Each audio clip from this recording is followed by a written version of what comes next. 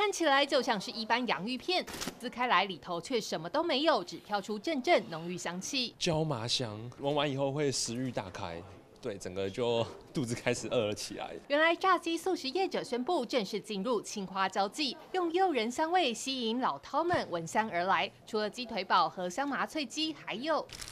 大口咬下，超满足，裹满青花椒麻酱的两片鸡腿排和清脆爽口生菜包进汉堡当中，期间限定才能吃得到。两层肉超满足的，它双层，然后肉又特别大，然后酱汁又很浓郁，吃了会上瘾的那种，然后会想要一口接着一口的吃。我不敢吃。